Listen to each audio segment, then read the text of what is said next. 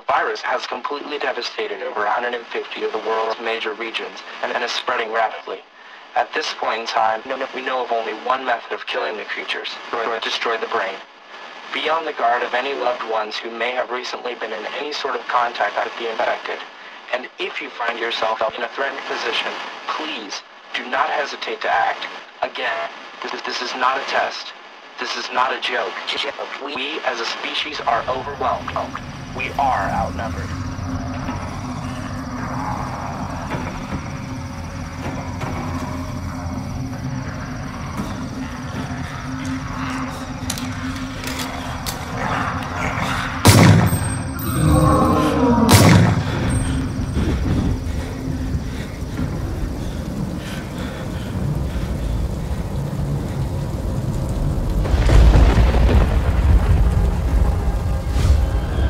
God.